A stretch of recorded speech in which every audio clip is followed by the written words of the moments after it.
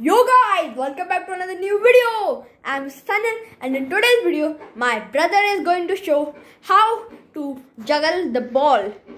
The table tennis ball on the table tennis racket. It's very easy and you will soon understand it after practicing. And before I will show it, just like and subscribe in the next 312 seconds or you're just slammed in the face.